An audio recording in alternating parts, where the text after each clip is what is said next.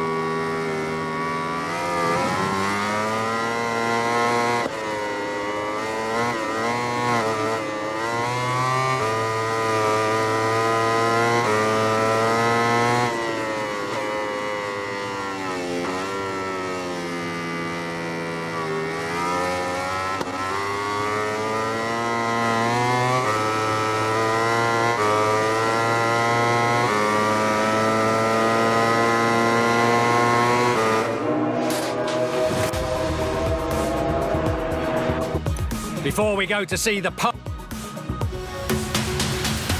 Even though he didn't manage to win the race today, he still put on a great show. The applause from the team and the fans is definitely deserved.